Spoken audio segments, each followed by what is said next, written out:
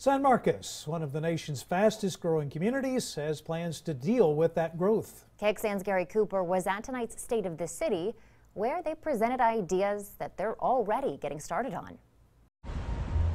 San Marcos has about 55,000 people living in it right now. In about 10 years, the mayor says that number will go up to about 85,000.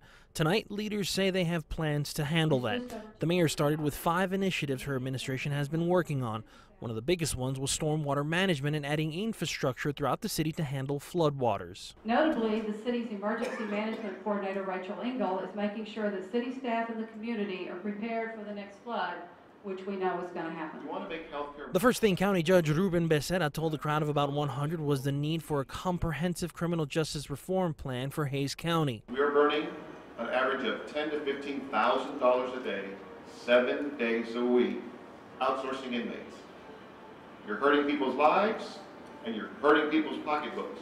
Michael Cardona, the superintendent for the school district in San Marcos, did not talk all that much about issues with the district, but rather accomplishments and the need for adults to be more present in kids' lives. The more adults believe in kids and what they can or can't do, the better kids do. The city says they would like to host more events like this in the future. In San Marcos, Gary Cooper, KXAN News.